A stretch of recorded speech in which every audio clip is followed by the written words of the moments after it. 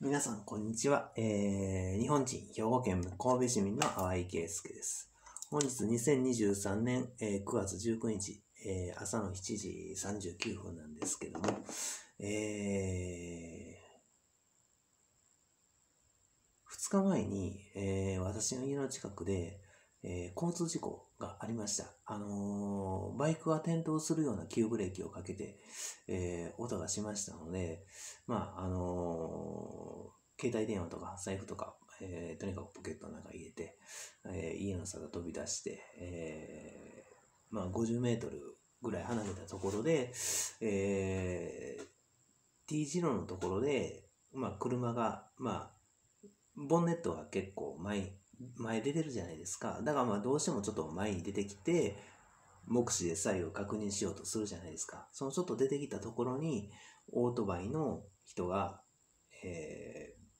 ーまあ、ぶつかったと。まあ、要するに向こうが、まあ、出てきたからぶつかったという言い方もできるんですけども、まあ、黒いオートバイと黒い車だったんですけども、まあ、現場行ったらガソリンが漏れていて、オートバイの運転手の人は転倒して動けない状態で、まあ、救急車は別の方が手配してくれてましたので、私の方で、えー110番しました。で、まあ、その、腕と足に、まあ、服が破けて、えーまあ、ちょっと血が流れてはいたんですけども、まあ、骨折はなかったと思います。で、まあ、救急搬送される前の状況を見てですね、で、うん、阪神タイガースの試合が昨日月曜日にあって、で、島田選手への頭部へのデッドボール。で、ちょうどその日に、えーまあ私が取り組んでましたけども、中谷選手と那須川天手、那須川天心選手と中谷純也選手かな。で、えー、純斗選手かな。えーあと、メインが寺地健志郎選手。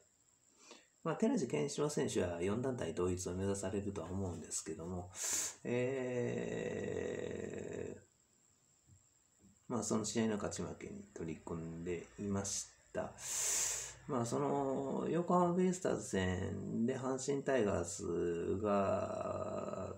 勝っていないっていうところも、まあ、私の方の、まあ、状況等もあるでしょうし、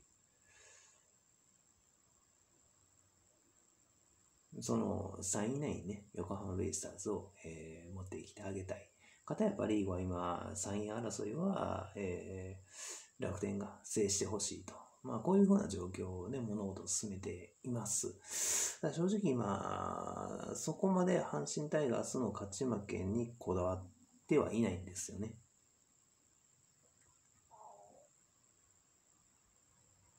ただまあ、そのまあ、島田選手、あのーまあ、当たったのは頭部ということで、まあ、今時はヘルメットしっかりと作られてると思いますね。その内側もね、あのー何かこう、柔軟な素材が使用されていて、あのー衝撃を緩和してくれてるとは思うんですけども、あのまあ、大事に至らなくて、えー良かったと思います。えーあ、とは、あのー寺地健志郎選手の試合で、相手選手のバッティング、要するに頭突きみたいな形の、えー現象が発生していて、まあ、その時レフリーの判断は、えー故意ではないと。まあ、まあ、狙って頭をぶつけてきたわけではないという判断なんですけども、まあ、それもちょっと、詳しい知識、うん、まあ、ボクシングにつき気になったりしていたら、あのはっきりしたルールを覚えやすくはなると思うんですけども、故意ではなかったとしても、ポイントは寺地選手が優位になる、なると思いますね。ちょっとそこは調べてみなきゃわからないんですけども、まあ、減点対象とかになったりするんじゃないですか、バッティングした人は、その頭突き。で、文字の意味がバッティングでしょう。もともと野球の打撃とかのことだったんじゃないかなって僕は思うんですよ。で、島田選手はそのバントの状態でトムにデッドボールだったと思うんですけども、まあ、エスコア選手もあの当てるつもりは全くなかったと思います。あの僕もね、これ判断迷うんですけども、天の神様へのお祈り、その格闘技の試合がある日ね、それ、あの天の神様へのお祈りをしてない方が、その、ノックダウンとかで KO 勝利とか、まあ、あの、中谷選手も、那須川選手も最終的に判定だったんですけども、まあ、あの、中谷選手はダウンを何度か、えー、奪ったみたいですね。まあ、最後は判定、二人とも判定なんですけども、えー、まあ、寺地健志郎選手は TKO、テクニカルノックアウトということで、えー、そのバッティングされた時に、あの、まぶたを、えー、まあちょっと、えー、怪我して、まあ、あの出血している状態でしたね。それまでもちろん、寺地健志郎選手2試、あの2ラウンド目ぐらいから頭の中しっかりと渡せてるなという感覚、まあ、後追いでこれわかるんですけどね、インターネットで流れてくる、その、何時から、えー、まあ、試合開始で、今第1ラウンドでどういう風な状況とか、そういう風な内容は後から流れてくるから、じゃあ、1ラウンド目が始まってその記事が流れてくる頃は3ラウン ,3 ラウンド目だったりだとか、その確認した頃とかはね、だからそういう風な中で、えー、対応しているので、まあ対応の、えー、難しさっていうのがあるんですけども、その辺は、えー、今までの爆発で、え、どうにかしています。で、まあ、その気になったのは、その交通事故っていうものがね、僕の家のすぐ近くであって、まあ、結構、うん、探せば結構あるんですよね。もうこの有野中町っていう、ごく一区間の駅だけ、駅の間でだけで、事故現場結構見てますんで、もともと交通事故って、まあ、毎年換算すると結構な数発生してるんですけども、まあ、何が原因かなっていうのはちょっと考えますね。で、うん、ボクシングの試合があったとしても、天の神様への安全のお祈りしといた方がいいかなっと、まあ、やや迷ったりしてるところなんです。これなぜね、天の神様へのお祈りをしてないかって言ったら、ボクシングも、ある程度その、工業の部分がやっぱりあるじゃないですか。だから、お客様としては、えーま、日本人サイドからすると、日本人選手の、えー、KO 勝利とかを見たいわけじゃないですか。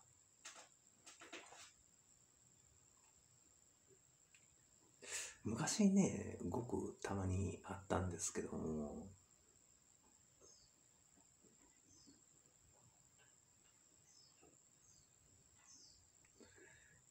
あんまり手数が少ないまま最終ラウンド終了っていう、まあ、内容ですね。あ本当は、えー、お客様あってのプロですから、やっぱりしっかり打ち合いに行かなきゃならないっていうのはあります。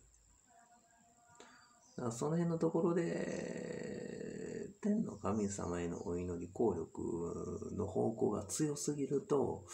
あの、なかなか嫌悪心が発生しないとかそういう部分があるんですけども、あのね、その辺ちょっと判断難しいんですよね。で、正直ね、これ大リーグへのメッセージも言ってると思うんですけども、みんな軟式野球ボールにしたらいいんですよ。メジャーリーグも日本も他の国のプロ野球業界も。それだけでね、あの怪我人、年間で数少なくなると思いますよ。その骨折者いなくなると思いますよ。軟式のボールであれば。まあ軟式もあれはあれで硬いですけどね、それなりに。けど、公式はちょっとやっぱり硬すぎるんだと思いますよ。ちょっとボール持ってきますね。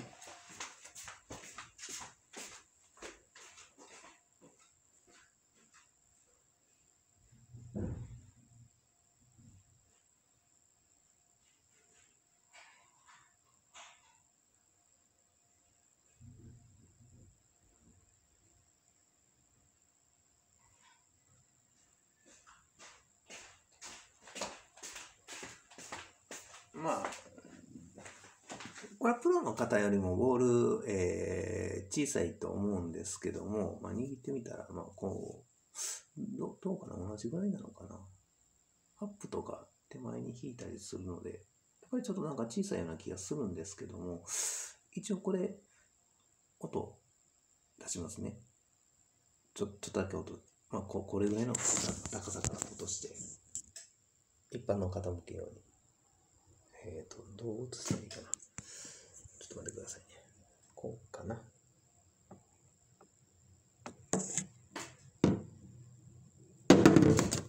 この音を聞いてもらったら分かる通り、えー、10センチぐらいの高さが音しただけで、あのー、まあ、音聞いてもらったらね、もものすごく公式ボールって硬いんですよ。で、えー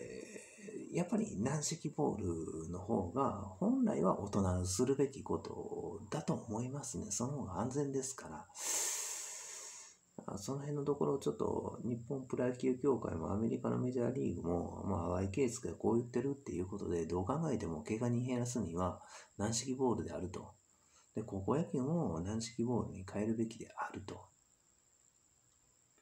それで、ね、えー、ちょっと皆さん話通していただけたらなと思います。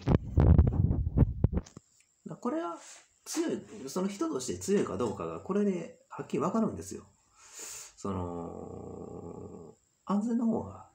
優先順位上ですから、別にお客様が公式ボールにこだわってるかって言ったらそこまでこだわってないんですよね。で、ボールの飛ぶ飛距離も多分同じくらいだと思うんですよ。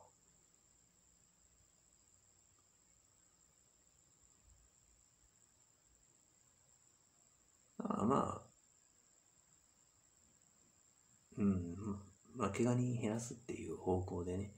えー、軟式ボールに変えてもらったらいいんじゃないかなと思います。以上です。えー、皆さんチャンネル登録と、えー、着信通知の設定と、まあ、YK スケはまあこういうふうに言ってると。まあ、この映像を見てもらいながらね、その最終的にボールのことだけが頭に残ってるかもしれませんけども、その交通事故がこの辺であってっていう部分と、まあ、あと、大谷翔平のその打撃練習中の右脇腹が痛くなった件なんですけども、その頃、ちょっと近本選手が右脇腹にデッドボール食らってたでしょう。だからその、ちょっとだけね、僕の方にも、あの、その日の晩かな、翌日かな、ちょっとだけ脇腹が、ほんのちょっとだけですよ、痛くなりました。だからその辺のところで、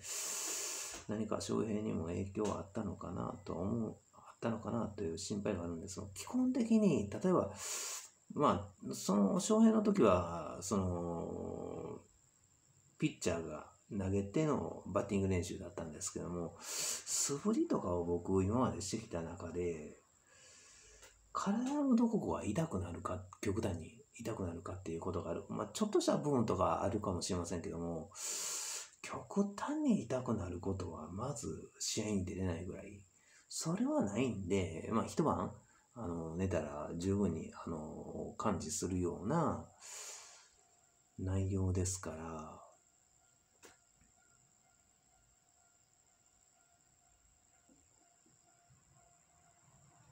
まあ、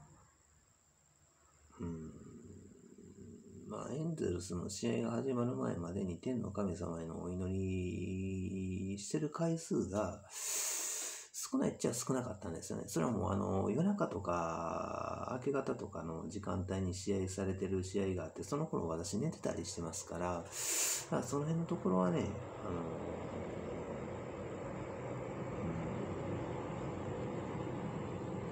まあ、基本的に各自自分で、えー、天の神様へお祈りするような形でね、私はいつもそのお祈りするときは、天の神アマテラスの大神大神様、世界中のスポーツ選手はケアをしませんようにということを、えー、よろしくお願いいたしますと。まあ、太陽をイメージしながら、えー、お祈りしています。まあ、世界中の神様の最高神は太陽神なんですよね、宗教の中で。まあ、それ実際実際的には、あのー、結果出てるんで、まあ、今年、阪神タイガースだと梅野選手くらいなんじゃないですか、その、